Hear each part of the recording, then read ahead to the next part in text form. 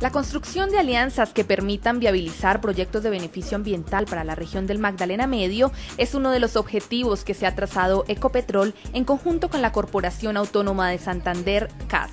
Por ello, recientemente realizó la firma de un convenio con el fin de generar acciones que permitan identificar usos de conservación de la biodiversidad en esta región. Se trata de una iniciativa que le apunta a la restitución de la cartografía base a partir de fotografías aéreas y otras acciones que se realizarán en 20 municipios del departamento de Santander y que hacen parte de la serranía de los Yariguíes. Nosotros hemos eh, generado una relación institucional muy importante de credibilidad, de respeto, de compromiso y en esa manera gana Ecopetrol y gana la Corporación Autónoma Regional de Santander. Esta vez el convenio es por eh, 3 mil millones de pesos y va dirigido a atender 410 mil hectáreas del corredor del distrito de manejo eh, Yariguíes. Con esta alianza, Ecopetrol ratifica su compromiso de trabajar en el plan de manejo ambiental de la región.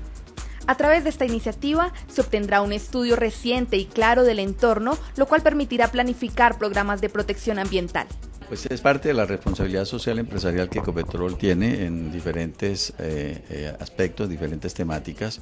El tema ambiental es uno de ellos y precisamente tiene como objeto contribuir conjuntamente con las corporaciones autónomas en los diferentes sitios donde desarrolla sus operaciones en proyectos de preservación de los ecosistemas. Dentro de las actividades a realizar está la socialización a las comunidades sobre la realidad ambiental identificada en los municipios que conforman el Distrito Regional de Manejo Integrado DRMI de la Serranía de los Yariguíes, identificar los usos de la conservación de la biodiversidad, incluyendo especies florísticas y faunísticas que se encuentran en el área de estudio, así como sistematizar y fortalecer el sistema de información geográfico de la CAS.